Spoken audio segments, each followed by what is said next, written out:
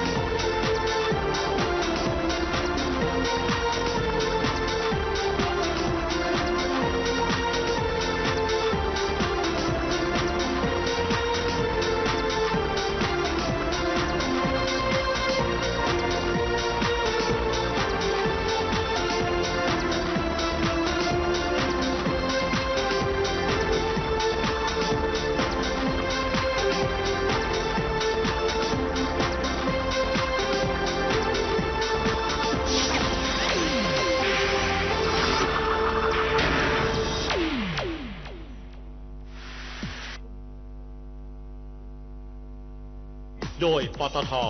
นิสสันนาวาร่าใหม่ TOT สวัสดีครับ มาพบกันอีกแล้วกับ Navigator ครับ ก็สำหรับเปิดสักราชมา 2554 ครับ Navigator ก็เข้าสู่ปีที่ 7 แล้วครับ ต้องขอขอบคุณทุกๆกำลังใจ และโอกาสดีๆ ที่มีให้กับ Navigator มาโดยตลอดสำหรับในการเดินทางช่วงต้นปีของเราในคราวนี้นะครับ ผมจะพาทุกๆคนไปพิชิต ยอดดอยหลวงเชียงดาวอำเภอเชียงดาวจังหวัดเชียงใหม่กันครับ ไปบันทึกเรื่องราวของธรรมชาติ รวมทั้งภาพ สัตว์สงวน สัตว์ป่าที่หายากของประเทศไทยที่ใกล้สูญพันธุ์แล้วครับ และงานปีใหม่ที่ไม่เหมือนใครของชาวเขาเผ่าลีซอร์ครับ พร้อมออกเดินทางกันหรือยังครับ ถ้าพร้อมแล้วจะไปพร้อมกับ Navigator แน่นอน ไปกันเลยครับ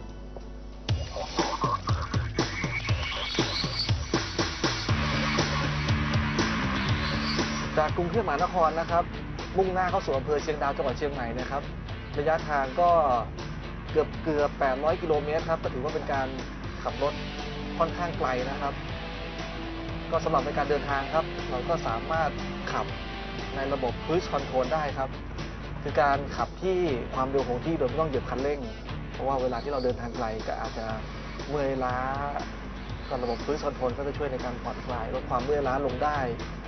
ก็ถือว่าเป็นครั้งแรกในระบบเกียร์ธรรมดาของตลาดรถกระบะในเมืองไทยครับไปครับ เดินทางกันไปเลย จากกรุงเทพมหานครไปตามเส้นทางหลวงหมายเลข 32 และ 1 มุ่งหน้าขึ้นสู่ภาคเหนือไปยังจังหวัดเชียงใหม่ โดยใช้เส้นทางหมายเลข 11 และใช้เส้นทางหลวงหมายเลข 107 ไปยังเขตรักษาพันธุ์สัตว์ป่าเชียงดาว จังหวัดเชียงใหม่ครับ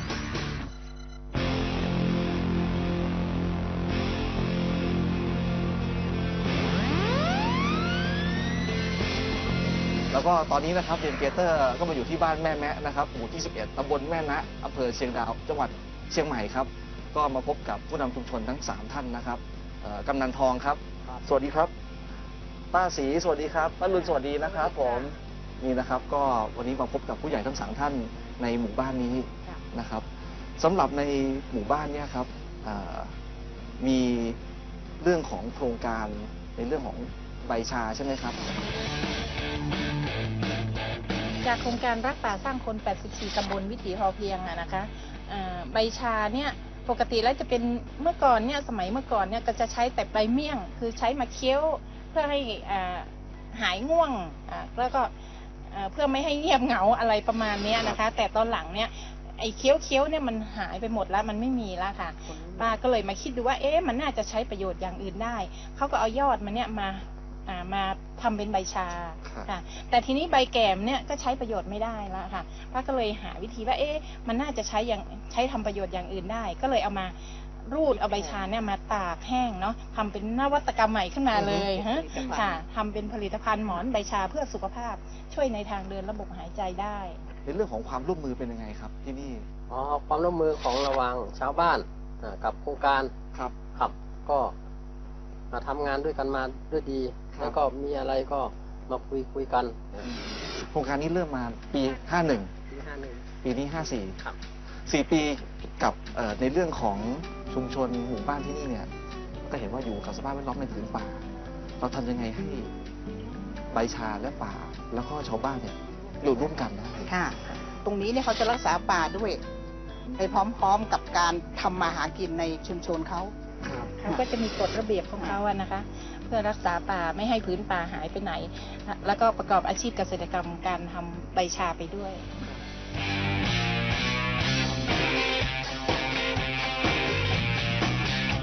อันนี้อะไรเก็บได้บ้างครับ แก่แล้วครับ อันนี้แก่แล้วนะครับแก่แล้วครับนี่ทำหมอนใบกานี่ครับหมอนกัญชาอันนี้คือที่เราจะทำหมอนหลังครับนี่ทำหมอน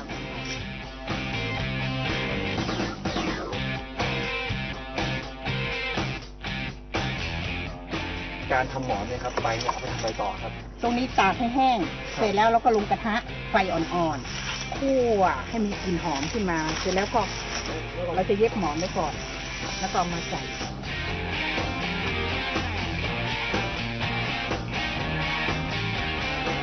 หมอใบชาเพื่อสุขภาพ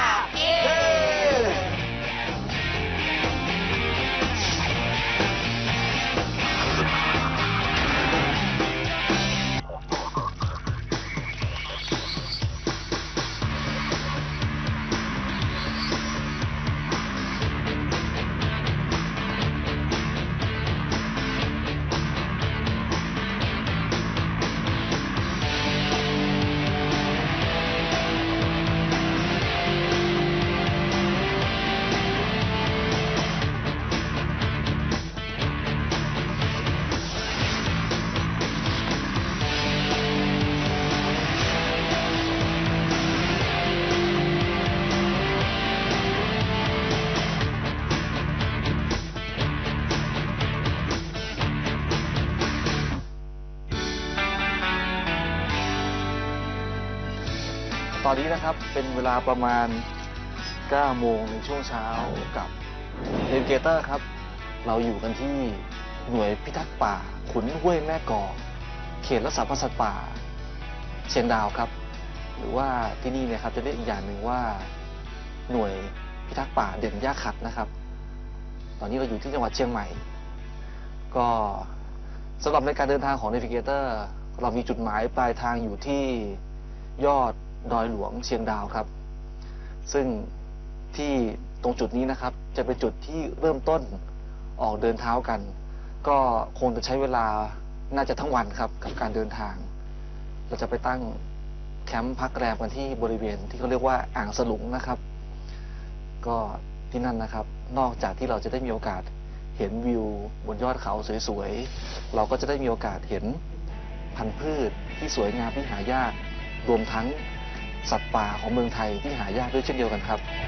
ถามไปไกลแค่ไหนก็ไปยังมีอีกไกลให้เราชื่นชมเดินสักวันทุกความใหญ่รอให้เราได้รื่นรมไม่ว่าปลายทางอยู่ที่ไหนจะไปให้สุดปลายแค่ไหนก็ไปแม้จะห่างไกลแค่ไหนก็ตามภูผาจะสูงสักเท่าไหร่แผ่นดินที่ไหนงดงามจะขอเดินทางไปตรงนี้พักยกแรกครับ หลังจากที่เราเดินมาประมาณ 38 นาที พอช่วงกลางวันเนี่ยแดดแรงอากาศร้อนมาก ก็พักยกแรกกันก่อน แต่ว่าในช่วงระหว่างกว่าที่จะไปถึงจุดหมายปลายทางเนี่ยครับ คงจะเจอกันอีกหลายยกเหมือนกัน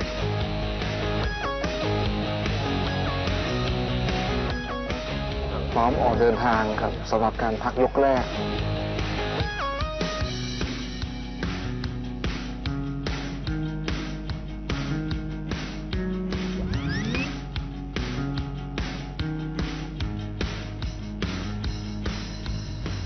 ที่เห็นนะครับ คือต้นเสี้ยวป่าครับในช่วงนี้ช่วงเดือนกุมภาพันธ์ออกดอกสวยเลยครับ ตรงกลางนะครับ เหมือนเป็นละองเกสรเนี่ยจะเป็นสีชมพูแล้วเราจะเห็นแนวเทือกเขาที่เห็นนะครับ เป็นในรูปแบบของเทือกเขาหินปูน แล้วก็ตรงยอดปลายนู้น จะเรียกว่ายอดพีระมิดครับ แต่ว่ายังไม่ใช่จุดหมายที่เราจะไปนะครับเราจะผ่านผ่านบริเวณตีนเขา ยอดพีระมิดไป แล้วก็ถัดไปก็เป็นยอดดอยหลวงครับตอนนี้พอเวลาแสงสวยๆ สะท้อนเข้ากับภูเขาหินปูนแล้วมีต้นไม้ที่ออกดอกมาทำให้ช่วงระหว่างเดินทางนี่แปลกตาไปเลยครับ ไปครับเดินทางต่อครับ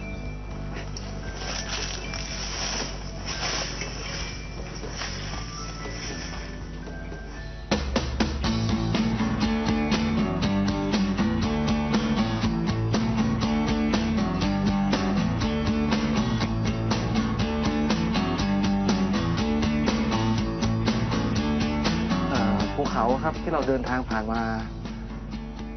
ที่เราเห็นนะครับ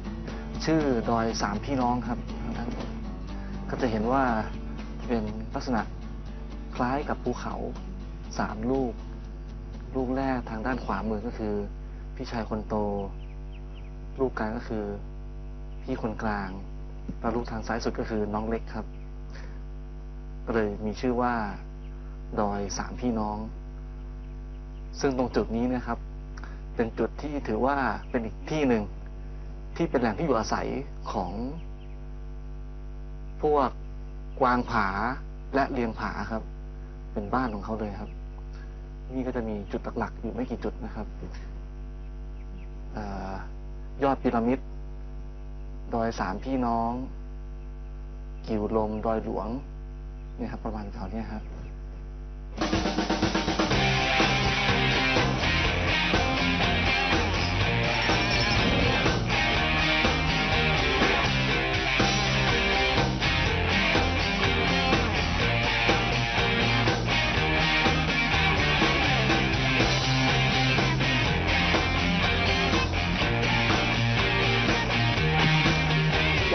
นี้ครับจะเป็นจุดที่เราพักขั้นสุดท้ายแล้วนะครับ แล้วเราก็จะเดินเท้ากันต่ออีกม้วนเดียวครับ เตรียมเลย ประมาณสัก 20 นาทีนะครับช็อตเดียวถึงจุดที่เราจะตั้งแคมป์กางเต็นท์เลยนะครับ ก็เดี๋ยวเราจะเดินไปตามเส้นทางตรงนี้ครับปุ๊บปุ๊บปุ๊บผ่านป่าดิบชื้นไป บริเวณที่ทีม Navigator จะตั้งแคมป์กางเต็นท์จะเรียกว่าอ่างสลุงนะครับ ที่แห่งนี้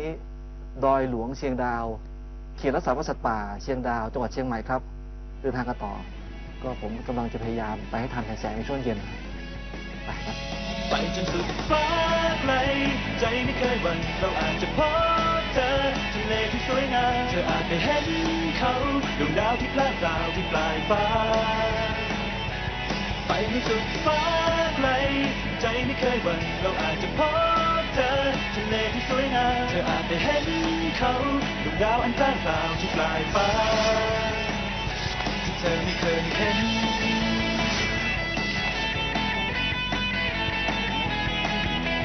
ทางไปสุดไกลแค่ไหนก็ไป ยังมีอีกไกลให้เราชื่นชมแดนสวรรค์ชั้นกว้างใหญ่ยังรอให้เราได้รึกลมไม่ว่าปลายทางที่ไหน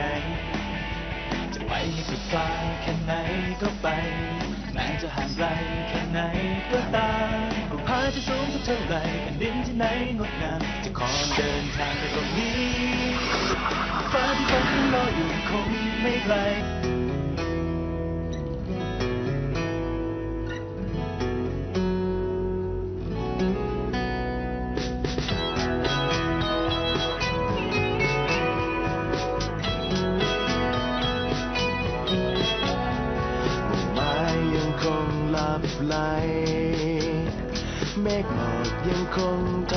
ยาวกว้างไกล อบอุ่นงดงามชีวิตท่ามกลางผงไพลไปสุดปลายฝัน สายทารายยังคงไหลวิ่ง กลับคืนสู่ถิ่นแผ่นดินที่เคยหวัง ก้าวข้ามไปสู่แสงของตะวัน ที่เธอฝันและรอ ยาสัตว์ยังงดงามเคียงคู่เป็นบ้านหลังใหญ่บ้านสีเขียวชุ่มชื่นหัวใจเกิดพันธุ์ด้วยไพรงดงามก็สำหรับในช่วงเช้าของวันนี้นะครับ ที่เราพักแรมตั้งเต็นท์แคมปิ้งในบริเวณของอ่างสลุงที่ เขตรักษาพันธุ์สัตว์ป่าเชียงดาวจังหวัดเชียงใหม่แห่งนี้ครับ ก็เช้านี้นะครับ เราก็ค่อย ๆเดินไประดับขึ้นมา แต่ว่าในช่วงระหว่างทางเนี่ยเราได้พบกับสัตว์ป่าที่หายากเป็นสัตว์สงวนของประเทศไทยครับ คือกวางผาครับเขาจะอาศัยอยู่บนบริเวณหน้าผานะครับ ในช่วงเช้าเขาจะไต่ตามหน้าผาขึ้นมารับแสงแดดหากินอยู่ตามหน้าผาเนี่ยครับ เดี๋ยวถ้าเกิดตรงนี้เราหายเหนื่อยแล้ว เราก็ออกเดินทางกันต่อครับ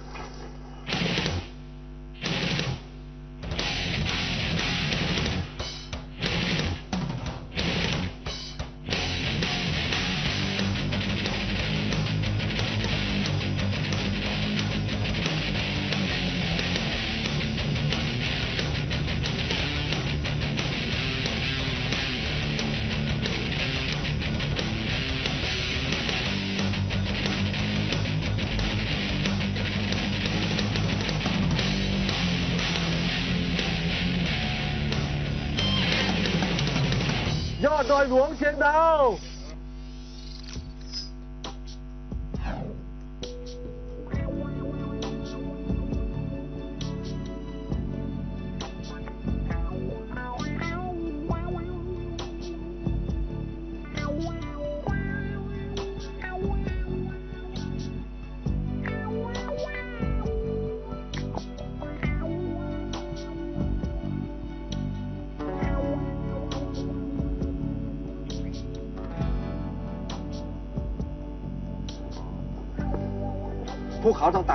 อนะครับ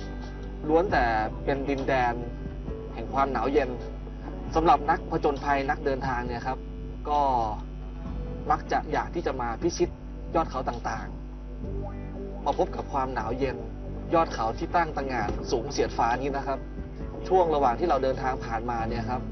เราได้มีโอกาสได้สัมผัส กับวิถีชีวิตพอเพียงที่บ้านแม่แมะหมู่ 11 ตำบลแม่นะ อำเภอเชียงดาวจังหวัดเชียงใหม่ครับ ซึ่งที่นั่นจะเป็นเรื่องของต้นชา ต้นชาเนี่ยครับที่เขาเอาใบยอดอ่อนไปทำชงชาดื่มแล้วเนี่ยครับ นอกจากนั้นแล้วใบแก่ๆก็ยังสามารถนำมาทำผลิตภัณฑ์เป็นหมอนใบชาครับ ที่มีประโยชน์ต่อสุขภาพอีกด้วยครับ ก็ทำให้เกิดการสร้างรายได้ในชุมชน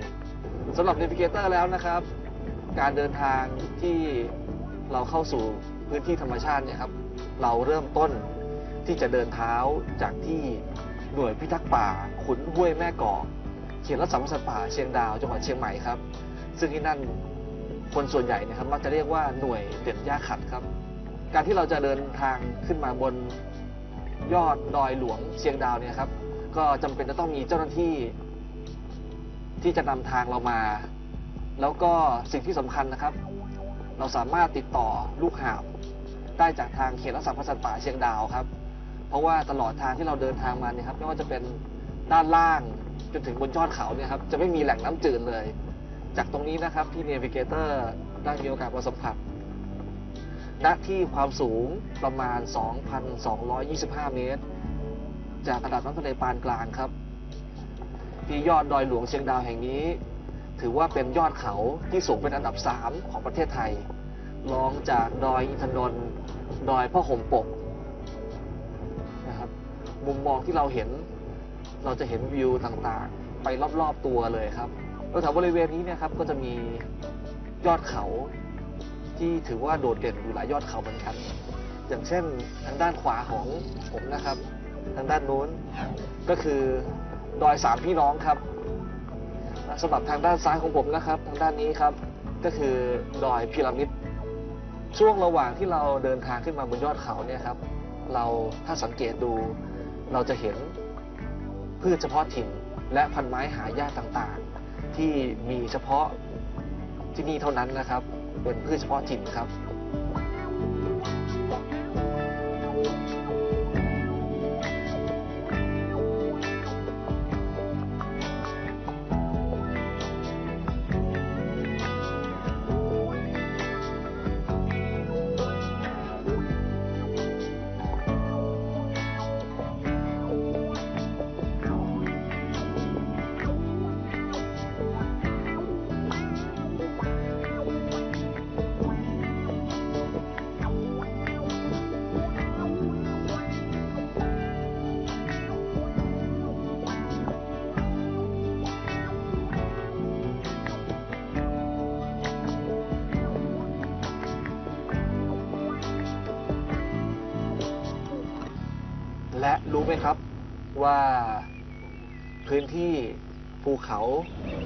บริเวณนี้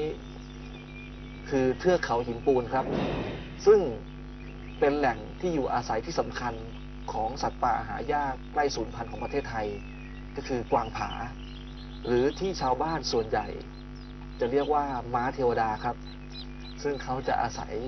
พื้นที่อยู่แถวบริเวณนี้ตามยอดเขาหินปูนนะครับ เป็นแหล่งอาศัยของเขาเป็นบ้านหลังใหญ่ของเขาเลย แล้วที่สำคัญคือว่า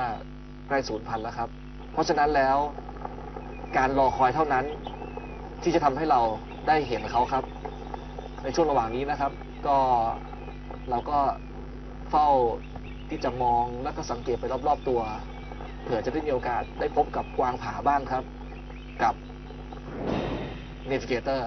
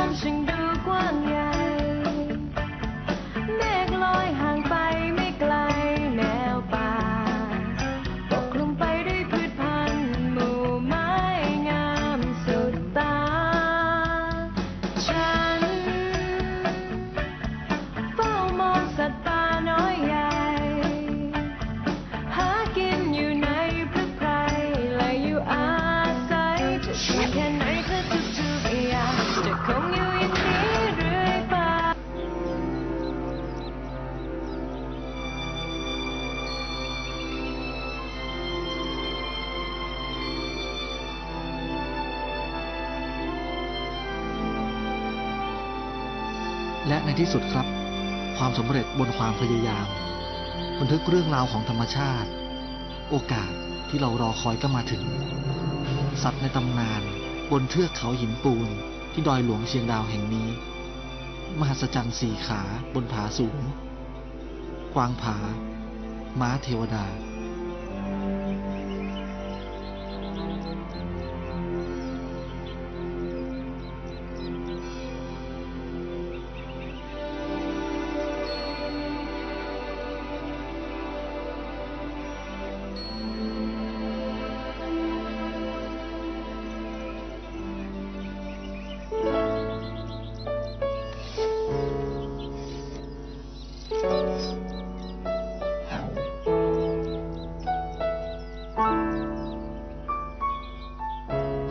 มาณ 200 เมตร จากภูเขาหินฝั่งตรงกันข้าม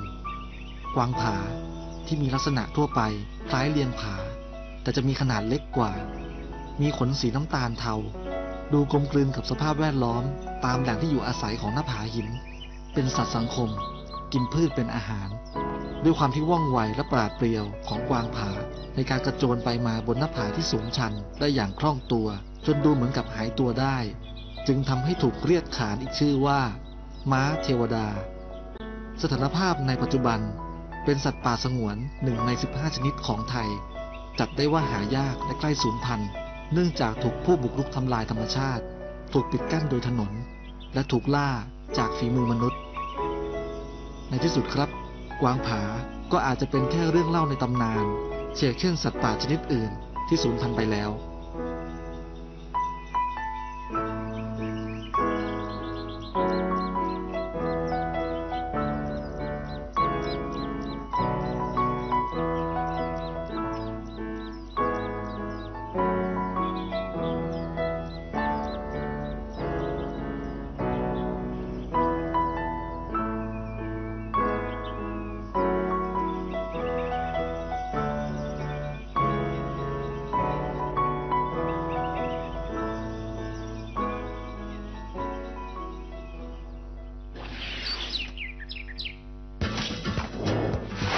การเดินทางของ Navigator ก็ยังไม่จบนะครับ เรายังคงเดินทางกันต่อครับ ผมจะพาทุกๆคนไปงานปีใหม่ประจำปีครับ ของชาวเขาเผ่าดีซอกัน เราก็จะขี่รถขึ้นเขานะครับ มีทางคดเคี้ยวบ้าง เดินทางไปนะครับ กับรถคันนี้ครับ ขับขี่สบายแถมยังประหยัดน้ำมันอีกด้วยครับ ออกเดินทางครับ ไปพร้อมกับ Navigator เราเริ่มต้นจากที่นี่นะครับ ที่ทำการ เขตรักษาพันธุ์สัตว์ป่าเชียงดาวครับ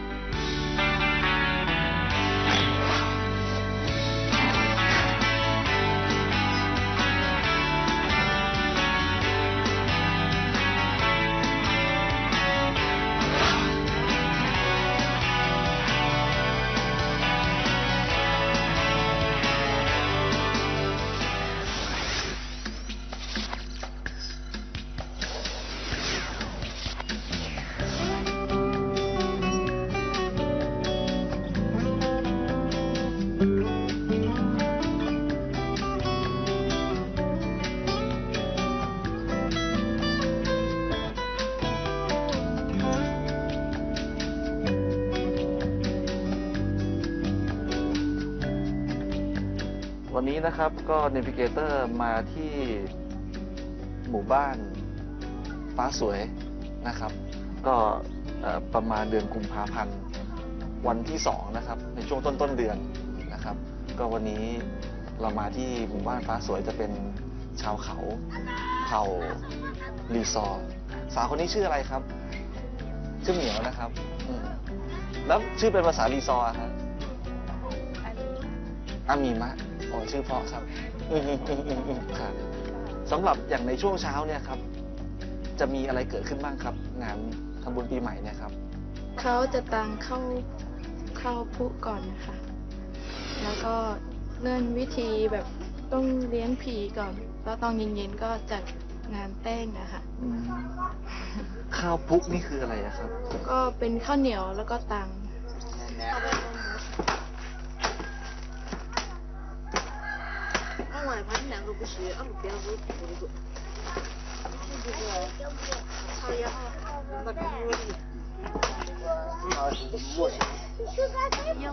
ก็จะเห็นหมอเมืองนะครับ ก็จะเริ่มประเพณีก่อนตีข้าวข้าวพุกนะครับครับหมอเมืองก็เหมือนกับเป็นคนที่คอยเหมือนกับว่าเออถ้าใครมีปัญหาอะไรก็อะหมอเมืองก็จะคอยดูแล พอเริ่มต้นจากที่บ้านหมอเมืองงานประเพณีบ้านอื่น ผมตอนนี้ได้ยินเสียงก็เห็นเริ่มมีเสียงตีข้าวต่อแล้วครับแต่ตอนนี้ทุกๆบ้านก็จะเริ่มตีข้าวนะทำข้าวพุ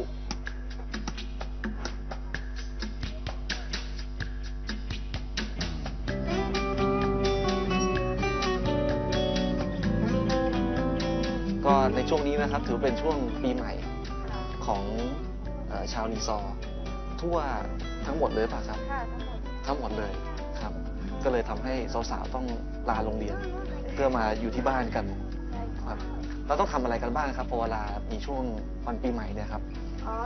ตอนเย็นนี้ก็ต้องแบบจัดงานเต้นนะคะต้องเต้นนะคะทุกคนต้องเต้นนะคะเดี๋ยวก็เต้นเต้นค่ะทิพวรรณก็เต้นค่ะสมศรีก็ต้องเต้นเต้นค่ะแล้วต้องเต้นเหมือนกันไหมครับ เหมือนกันเหมือนกันด้วยค่ะแล้วเต้นยาวนานขนาดไหนเอ่ยเต้นถึงเช้าแล้วถึงเช้าเลยอะถึงเช้าเลยอะครับโอ้โหเพราะว่าปีใหม่มีปีละครั้งอย่างนี้ครับค่ะต้องสนุกอะต้องสนุกนะครับ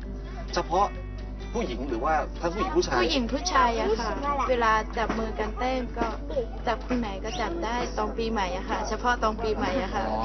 ช่วงนี้จะเป็นช่วงที่จะสามารถแบบว่าอาจจะได้มีโอกาสพบเนื้อคู่อ๋อ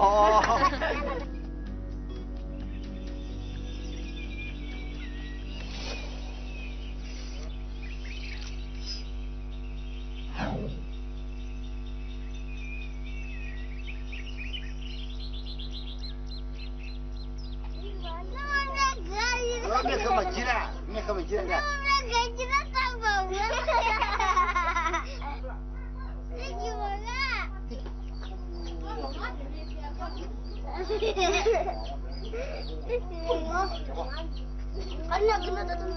你叫蒙个来，来去吧。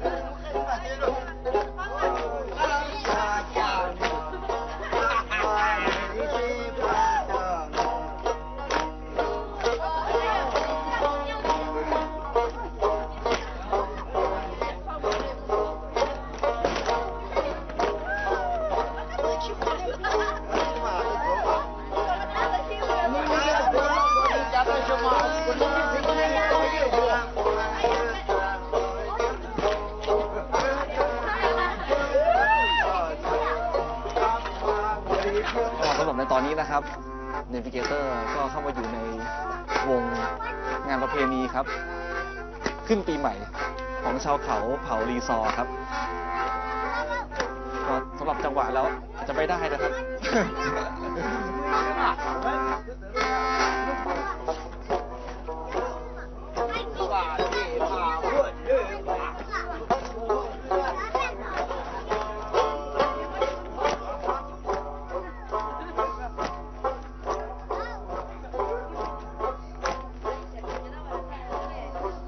ตอนนี้ครับได้เวลาย้ายบ้านแล้วนะครับจากที่เพิ่งบ้านแรกนะครับ ตอนนี้เวลาประมาณ2ทุ่ม54 นาทีครับ ได้เวลาย้ายบ้านแล้ว กว่าที่จะครบทุกบ้าน แต่ดีอย่างนะครับ ผมว่าพอเวลาอากาศหนาวๆแบบนี้เนี่ย แล้วมาได้ขยับร่างกายแบบนี้เนี่ยทำให้ร่างกายอุ่นขึ้นเลยนะครับ ตอนนี้ไม่ต้องพึ่งเสื้อกันหนาวแล้ว แล้วก็ไม่ต้องผิงไฟแล้ว ตอนนี้อุ่นขึ้นเลยครับ ไปครับไปกันต่อ ก็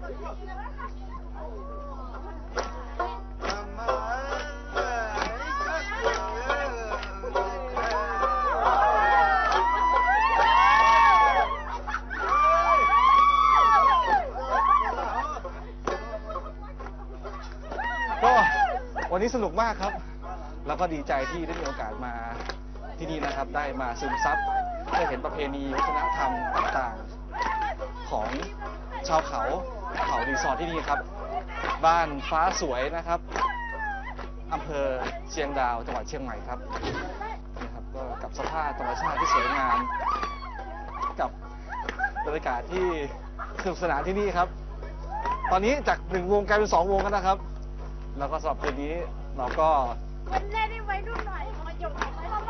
ต้องเต้นให้เต็มที่ครับ เขาบอกว่าถึงเช้าเลย แล้วก็สำหรับ n น v ิเกเตอร์นะครับคงก็ต้องลาไปพร้อมกับ บรรยากาศสวยๆที่นี่นะครับ เดินตามรอยทางของเรา เดินตามรอยทางของ n น v ิเกเตอร์แล้วเจอกันครับกับการผจญภัยในครั้งต่อไปครับสำหรับวันนี้ขอลาไปพร้อมกับสาวๆ และหนุ่มๆที่นี่นะครับ ชาวเขาเผ่าดีซอครับ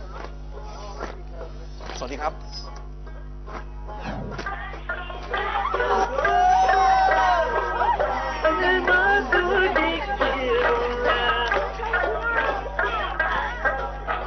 ขอขอบคุณผู้ร่วมนำทาง นิสสันนาวาร่าใหม่ ปตท กาแฟกระป๋องเบอร์ดี้ยามาฮ่าเดินมาทั้งวันยังไม่ถึงปลายทางเลยพักผ่อนไม่เพียงพอก็แบบนี้ครับที่หลังคราวหน้านะ จะมาเดินอะไรเยอะๆอย่างเงี้ย นอนให้พอแต่นี่นอนไม่พอเนินสูงนะครับ แล้วก็ลงเนินมานะฮะมองตรงไปข้างหน้ามีทิวสน ขึ้นสลับนี่ครับสูงเป็นสง่านสวนแล้วก็มีหญ้าสวยงามปกคลุมมีมีหญ้าอย่างเดียวไม่มียายนะครับไม่มีหญ้าไม่รู้ไม่เจออาจจะปลูก